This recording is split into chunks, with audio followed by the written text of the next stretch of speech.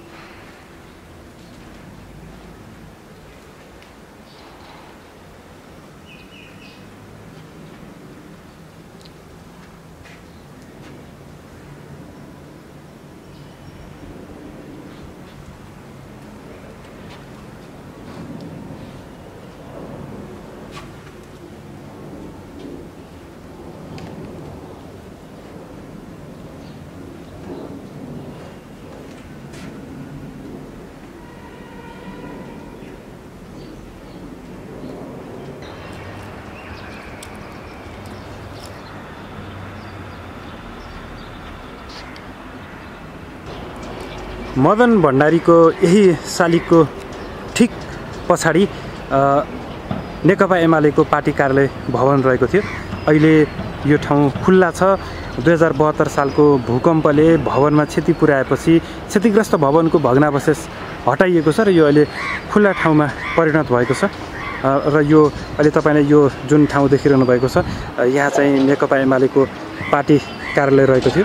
र यतापट्टि चाहिँ यो ठाउँतिर चाहिँ खुल्ला ठाउँ नै रहेको थियो। र अहिले यहाँ चाहिँ पुरै खाली छ। यहाँबाट सम्पूर्ण भग्नावशेष हटाइसकिएको छ।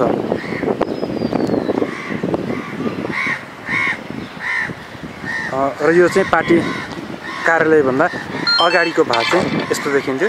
र यो अहिले सबै पुरै खाली रहेको छ। र यता छेउछेउमा चाहिँ सानो क्वार्टरहरू रहेको छ कर्मचारी बस्नको लागि र र यतापट्टि चाहिँ क्यान्टिन रहेको थियो एउटा।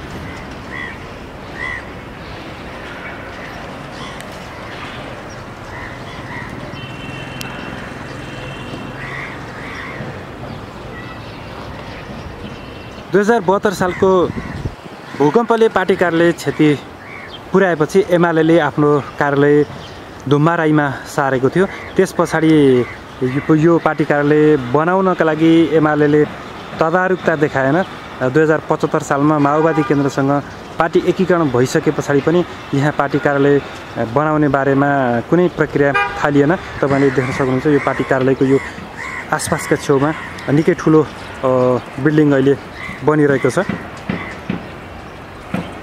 र विगतमा जति बेला यहाँ एमाले पार्टी कार्यालय थियो त्यति बेला यो वरिपरि यति ठुलो संरचनामा बिल्डिङहरू बनेका थिएनन्। र यो क्षेत्रलाई काँडे तार लगाएर सुरक्षित भनेर राखिएको छ।